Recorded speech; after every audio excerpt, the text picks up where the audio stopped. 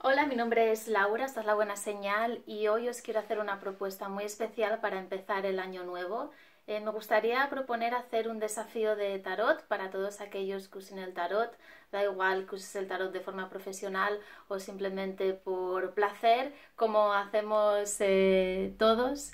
Y si nunca has hecho un desafío, lo que se trata es de hacer todos los días una cosa relacionada con el tarot y esa cosa es responder a unas preguntas.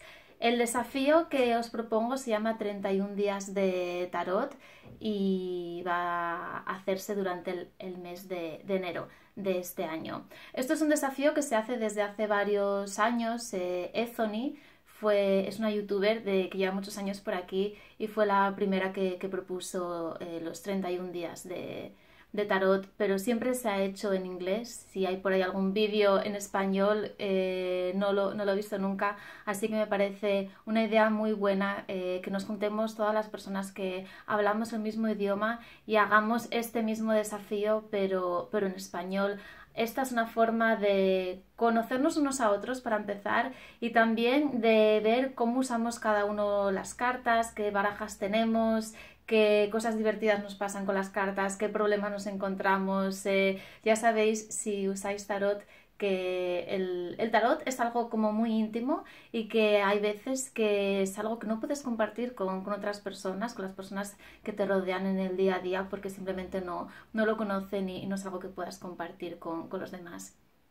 Así que si os animáis, podéis usar el hashtag 31 eh, días de tarot. Os voy a dejar abajo en la descripción del vídeo toda la información que necesitáis por si os animáis a hacer este, este desafío. Y también en, la descripción hay, una, hay, un, hay un enlace a, a, un artículo del blog que he hecho para este desafío en el que se ponen todas las preguntas a las que hay que responder durante este, este mes de enero. Son 31 días, 31 preguntas y, muchas cosas eh, divertidas por descubrir los unos de los otros.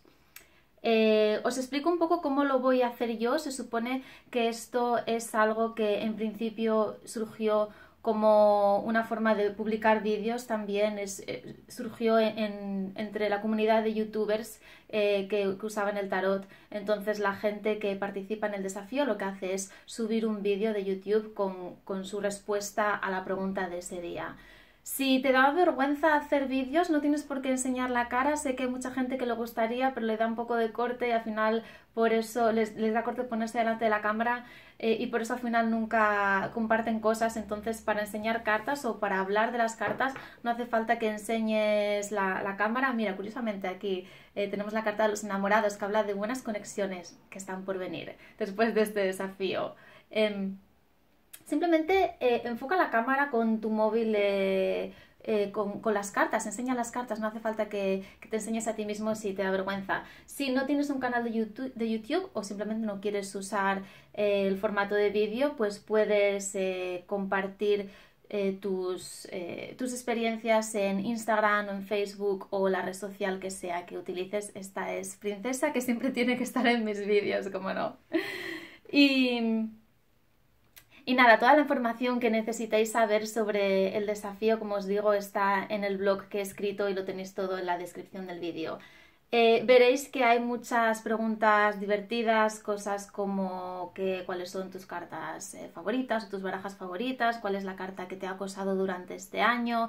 Es una forma también de hacer balance del año 2020, es una forma de compartir cómo ha sido tu experiencia con el tarot durante eh, el año 2020 o, o, cosas que te han llamado la atención durante, a lo largo de, tu experiencia con el tarot. No importa si tu experiencia es larga o corta, tampoco es relevante si tienes muchas cartas o pocas. Lo importante es participar, eh, compartir con los demás lo que sea que tengas que aportar y también eh, descubrir eh, a personas nuevas y, escuchar lo, que tengan que decir. Yo llevo, este es el, sexto año que se hace en inglés y, me divierte muchísimo, me gusta muchísimo ver a, las personas que comparten estos, estos vídeos de 31 días de tarot.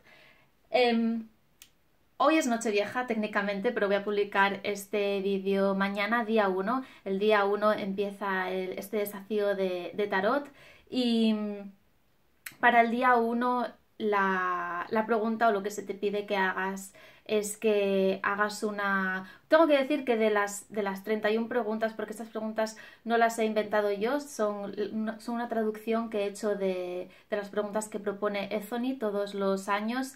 Y la primera es la que menos clara tengo, pero yo tengo la sensación que se trata de hacer una lectura general para el colectivo, yo creo, para, para todas las personas que vayan a, ver el vídeo o para eh, la sociedad en, en general del energía general del 2020 y cuál ha sido la, principal lección a aprender por todos nosotros. Eh, voy a sacar dos cartas para hacer una lectura sencilla de, este 2020 y, tengo curiosidad por ver si sale lo evidente o sale algo más allá. Voy a ver si puedo hacer un poco de huequito aquí para, para barajar. 2020 tirada general para el colectivo, para el mundo que, en el que vivimos ahora mismo. Energía general del 2020. ¿Cuál ha sido la energía general del 2020? ¿Y cuál ha sido la principal lección que hemos aprendido durante este año 2020? Energía general del 2020 y lección que hemos aprendido. Ah, antes de que se me olvide, eh, creo que le iba a decir, luego se me pasó. Lo que voy a hacer va a ser publicar eh, todos los días en Instagram, no sé si va a ser fotos o vídeos o una mezcla de las dos cosas con las respuestas a las preguntas. Y luego todos los viernes eh, lo que voy a hacer va a ser un resumen de todas las preguntas porque no, voy a, no quiero subir vídeos todos los días, eh, aunque si queréis hacerlo se supone que se hace así, se supone que tienes que hacer un vídeo todos los días, pero yo lo voy a hacer eh, de esta manera, cada uno es libre de hacerlo como quiera. Todos los viernes aquí en YouTube voy a subir un vídeo eh, respondiendo a las, a las siete preguntas de, de, esa semana. Así que nos vemos aquí los viernes, si, si os apetece uniros. Volvemos a la tirada. Energía general del 2020. Hmm. Oh, esta esta carta me recuerda a, la madre tierra en general. Ha salido la, reina de la reina de oros y yo creo que la gran madre de todos nosotros es, eh, es la madre tierra, es el planeta que habitamos. Creo que ha sido un año para ser más conscientes del lugar en el que vivimos. Creo que el, aunque ha sido un año muy difícil para todos, ha, sido un año de, sanación a nivel ecológico y, a nivel eh, a nivel mundial quiero decir nuestra la tierra que habitamos a veces no la tratamos muy bien y durante la época del confinamiento ha habido una eh, una sanación de, nuestro planeta de eh, la capa de ozono se ha regenerado los eh, parte de, eh, de, las especies marinas han vuelto a, poblarse. Creo que ha sido un momento de un año para ser conscientes de, las cosas que, queremos y que tenemos que cuidar. Me gusta que, haya salido esta carta. Creo que si hubiese salido eh, la torre o, la muerte habría sido algo muy evidente, ¿verdad? Vamos a sacar ahora la, cuál ha sido la lección principal a aprender, aunque creo que solamente esta carta de la Reina de Oros ya tiene una lección muy grande. Sí, están picando al timbre, siempre pasan estas cosas. Lección a aprender. Sí, un segundo. Vale, disculpad la interrupción, son cosas que pasan. eh, y cuando estás haciendo una tirada es el peor momento, ¿verdad? Lección a aprender. ¿Qué lección hemos aprendido durante este año 2020? ¿Qué lección hemos aprendido durante este año 2020?